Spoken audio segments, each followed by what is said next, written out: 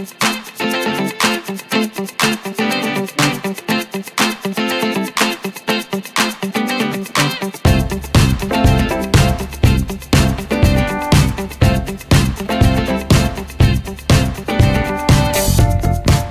hi everybody. This is Dear Mama Sal, and it's Thursday. Yay! For those of you who don't know, I don't work on Fridays, so Thursday is my Friday, and particularly nice this weekend. We have a long weekend here in British Columbia. Um, it's Victoria Day on Monday for us, so that's uh, really good. So there are going to be a lot of people leaving town tomorrow, uh, that's for sure. And uh, this real serious start of what I call the um, trailer season or caravan season for those of you who are in England. And by the way, a very big uh, shout out to all my British viewers because, wow, in the last few months you have really been amazing. I just keep looking at the figures and going, wow, whoever knew? that the Brits would actually recognize one of their own. Maybe, I'm not sure um, what's caused it, but I'm really very, very grateful. So uh, thank you all for those of you in England who have become viewers and subscribers, and uh, it's really nice to meet you. I wonder, I'm, I, I'm not sure if I can even do the really in-depth uh, analysis to find out you know, what videos brought you on board? And I can't help but think that maybe it was the halogen ones that brought a lot of people on board because, um, you know, Britain is very concerned with um, the cost of energy. Uh, I can remember way back even when I was a young person in England living in London, um, you, you didn't have a bath without putting money into a machine. You know, hot water was not a privilege. Hot water was something you paid for. I can always remember that. Uh, it was quite a shock when I hit the real world and went, I've got to put money in. And even hot water to wash my dishes, you know, was not a given. You had to put money in to get it. So uh, I know they're very energy conscious. And whatever your reason, thank you so much. I just wanted to let you know that you've overtaken the Canadians. Can you believe that? And not just by a little bit, by a lot. So, uh, you know, when you start this process of being a YouTuber, you have no idea, quite honestly, um, where, where it's going to lead you to. And I think that's the, the, the one thing I would say is that although it's difficult to start a YouTube channel, when I say it's difficult to start, you know, there's so much to learn. And it's very discombobulating along the way. But what makes it really interesting is where it leads you. And I, the reason it makes me chuckle is, as a lot of you know, I would never in a million years have thought that I would end up cooking and, and doing experiments on a halogen oven. Um, I, that just never would have been in my, you know, of all the things I could do. That wouldn't be it. But that's obviously where the market uh, wants me to be to some degree. I've just seen a great bumper sticker on the car ahead of me. it says the driver carries no cash. Their kids play hockey. I think I don't know why that strikes me as really funny. Um, yeah, right. Isn't that cute? yeah, I I don't know where your parents spent their money. Mine was on. Um, mine was on riding lessons and things. I was into horses, not hockey, and I think horses were way more expensive than than hockey. But it kept me off the streets, as they say. Um, I wanted to call, I was going to do um, this particular vlog on laughter. But life got in the way in the last 24 hours enough that I am led uh, to talk about two other things. Um, and I'm going to call this the the joy and the pain because it's amazing how those two things seem to come together. I was looking forward this weekend to going to uh, dinner with the, couple of students that I've helped in the past. And by the way, one um, I got a call to give one of them a reference and they got the job, so I was delighted about that. And then, so I'm really looking forward to meeting them all and getting lots of hugs and catching up on how they're doing. And I'm going to be doing that on Sunday. And then, yesterday when I got to work, there was an email in my box at work from a young student that I had helped back in, must be six years ago now. Uh, I did some work at the Boys and Girls Club, and what I did was uh, I, I was given a group of young people who wanted to make a positive difference, and what we did, what I did with them was to help them learn how to do a presentation and the pres- the subject that they wanted to talk about was bullying, which is you know a great subject. I took it from inception, and you know, they came up with the ideas, they came up with all sorts of stuff, and then I taught them how to put the bare bones of a presentation together in terms of what were the main factors they wanted to put in. Then we added in some personal stories around those main factors, and then we did the creative around it all uh, we shot some video, which was great fun. Um, while they demonstrated different sorts of bullying, including cyberbullying, and it, it was a, an amazing process. But during that that ex- experience, um, and I guess we spent a good couple of months together doing that. During that experience, um, I met a young lady, and I got an email from her yesterday and said that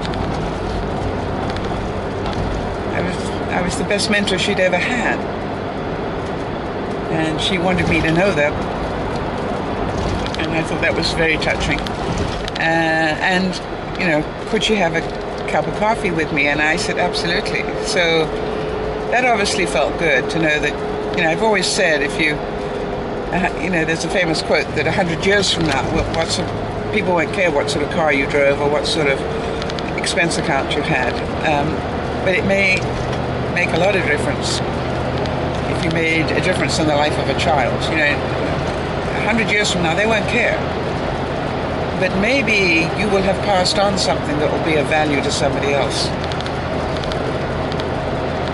And that's why I always believe in doing what I can to share with young people.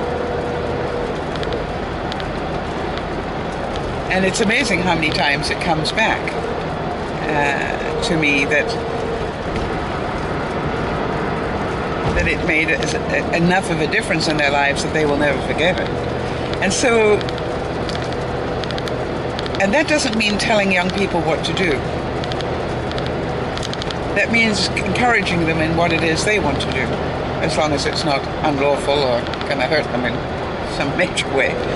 Um, but also letting them make the mistakes and still being there for them. One of the things I really spend a lot of time saying is, hey, you know, I can give you options. You need to make the choice because it's your life, and I don't know the right decisions for your life.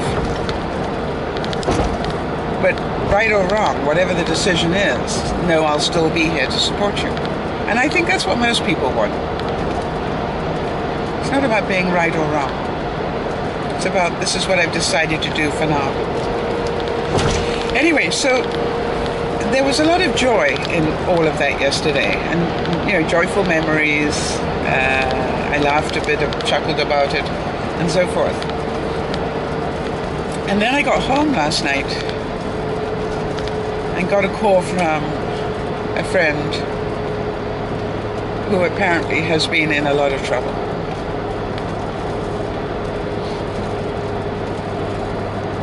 And that was painful to hear.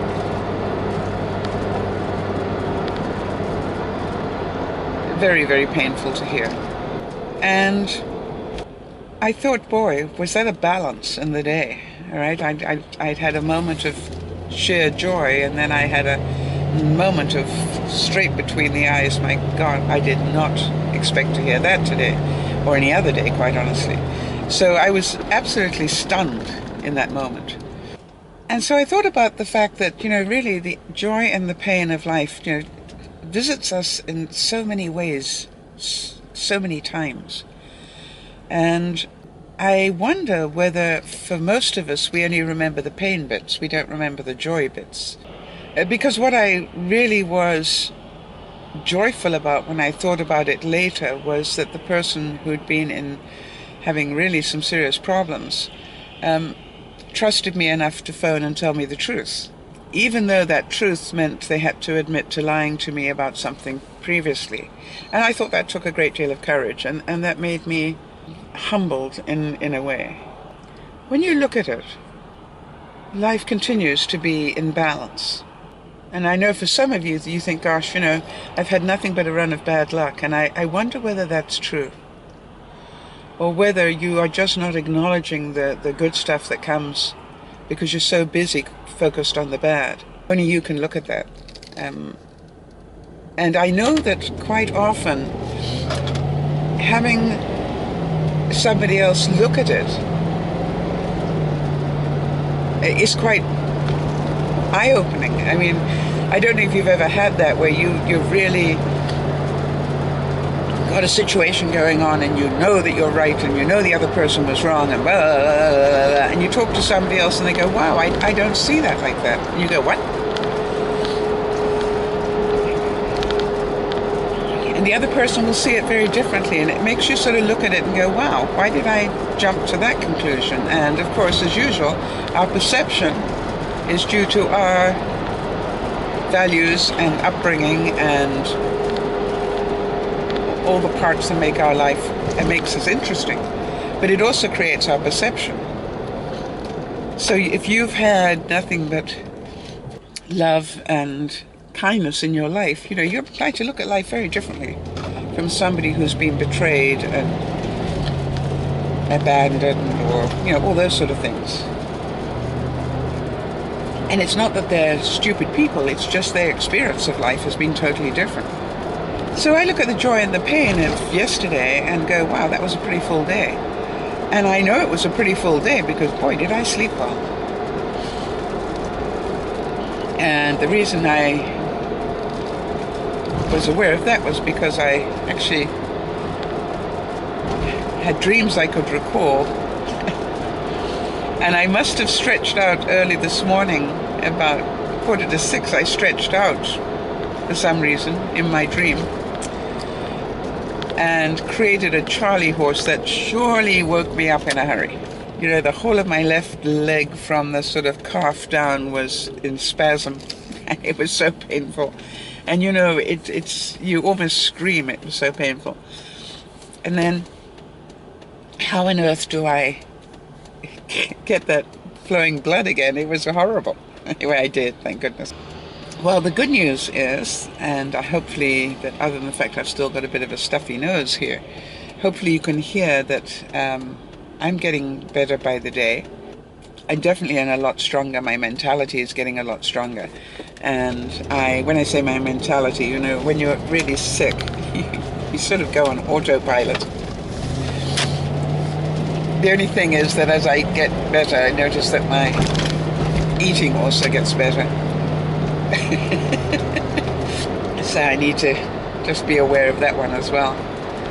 All right. So here's hoping that you understand and can relate to the joy and the pain. Excuse me. Um, I've got a new air freshener in the car, and I've got a feeling that my body doesn't like it very much, but I could be wrong. So be aware of the joy and the pain in your life. Don't be surprised when they come together or in swift succession to balance your life. And be aware of it in other people as well. In other words, that some people will only concentrate on the pain when you know there have to be moments of joy. And sometimes it's not a bad idea just to even ask them. You know, when was the last time you remember having something good happen to you? Sometimes people need to be reminded of it. If you're a new subscriber, thank you for watching. And for those of you who are not new subscriber, thank you for watching as well, just in case you think I don't appreciate that. Uh, and if you enjoyed today's subject, then please click a thumbs up below here. Subscribe if you haven't already done so. Understand that in the more details below here, there are all the links to the various Facebook, Twitter, Instagram, you name it, type links that you might need. And also to the Dear Mama Sal blog site, which gives you um, a whole lot of other interesting things, including our pets page, which is one of the nicest things that I thought to add to the Dear Mama Sal network. Um, we, we have a page where the regular viewers and or broadcasters um, send in pictures of their pets and we keep a gallery of them and it's some really nice memories uh, not only of the pets but funny enough every now and then I look through it to, to remember some of the viewers that we've had and maybe have moved on to other things in their lives, but it's nice to remember they were there. And because that stuff is dated to some degree, you know, you get an idea of when they were there. This is Dear Mama Sal saying thank you so much for watching. Thank you for being here, because without you I'd just be sitting here talking to myself, which is what everybody that drives the route with me every morning thinks I'm doing anyway. This is Dear Mama Sal saying bye-bye for now.